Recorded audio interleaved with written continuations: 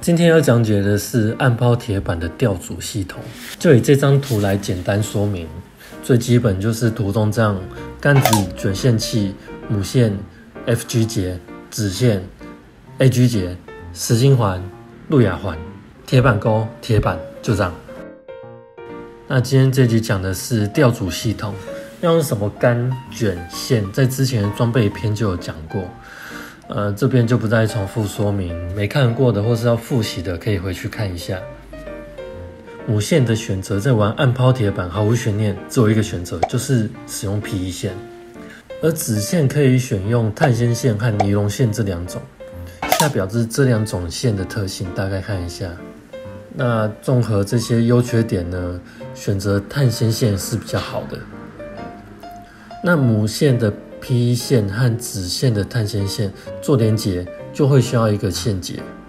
绑 P 线适合使用靠摩擦力的线结，例如 FG 结、SF 结、SC 结这之类的，用摩擦力来绑制的结。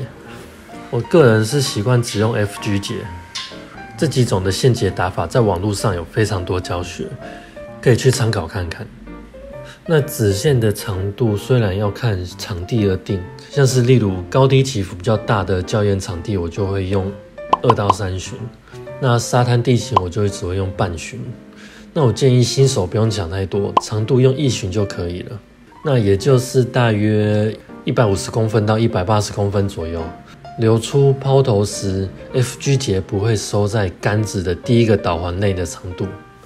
那这样抛投时线结的部分才不会碰到导环，出线会比较顺畅。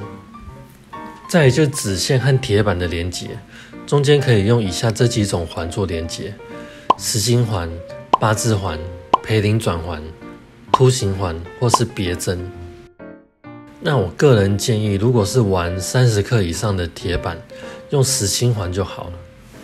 原因是最没有缺点，也最单纯，强度也是最强的。然后子线的碳纤线用 AG 结来和实心环做连接，我觉得是最适合的。再来就是钩子和铁板和实心环中间用路亚环做串联，就可以完成整个暗抛铁板的吊组。那如果是玩暗抛超微铁那种二十克以下的铁板，我就会选用别针做连接，因为超微铁不太会钓到能够把别针弄开的大鱼。就算遇到了，在别针开掉之前，前导线会先断掉。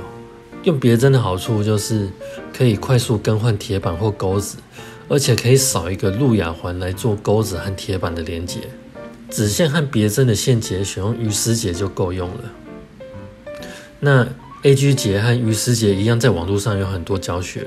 好，以上就是暗抛铁板的吊组，是不是很简单？